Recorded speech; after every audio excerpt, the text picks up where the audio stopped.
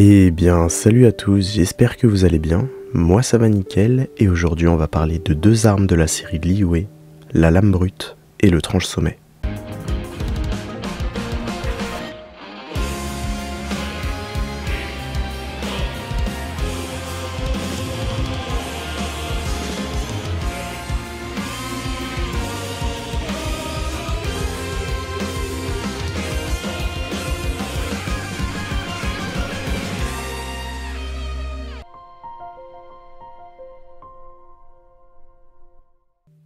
La lame brute, capable de chasser les mauvais esprits et les méchants, cette épée sans tranchant semble posséder une puissance divine.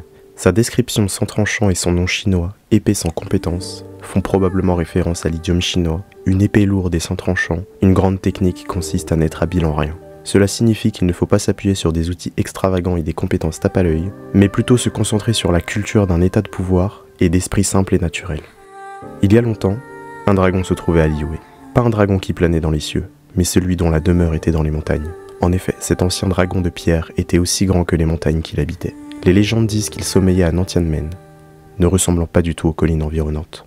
Mais quand il s'est réveillé, même le moindre mouvement, ou le moindre étirement, cela ferait trembler la terre encore et encore. Ensuite, Rex Lapis est venu devant le dragon, cherchant à arrêter les tremblements de terre. Ils disent que pendant longtemps, la terre a connu la paix, et que Rex Lapis a gagné un autre camarade à ses côtés. Mais au final, L'union des dragons, des dieux et des hommes ne devait peut-être pas se faire. Le dragon était scellé dans les entrailles de la terre, craignant la colère des dieux et des adeptes. Les géosaures, qui jadis ont tenu compte du tremblement de la roche et ont fait des ravages aux côtés du dragon, ont fui dans les racines des montagnes. Mais au fil des millénaires, le dragon a recommencé à s'agiter. Les légendes racontent que ceux qui ont triomphé du dragon ont poignardé cette épée dans le sol, à côté de l'arbre géant qui a maîtrisé l'ancien dragon. Comme l'un des sceaux, les monstres et les mortels malveillants seraient incapables de le toucher. En effet, si les légendes sont vraies, seuls ceux avec des cœurs aussi purs que des miroirs clairs pourraient même s'en approcher. Pourtant, si ces légendes sont vraies, comment cette épée a-t-elle pu être perdue? Le tranche sommet, symbole d'un pacte légendaire, cette lame tranchante coupa autrefois le sommet d'une montagne. Dans un passé lointain, quand les dieux et les esprits parcouraient la terre, quand tout le pays était en ébullition, les gens ont dû se poser de telles questions. S'il vous plaît, dites-moi, où sont passés mon amant et mes enfants? Quant à ceux qui sont partis, nous reviendront-ils? Ô grand Seigneur, combien de temps ces temps horribles persisteront-ils? Même le cœur des personnes taillées dans la roche la plus dure se fissurerait et se briserait à cause de la douleur. Même les yeux de ceux qui restaient silencieux, stoïques dans leur foi inébranlable en leur Dieu, commençaient à brûler. Même s'ils ne posaient pas de telles questions, leur cœur émettrait les sons.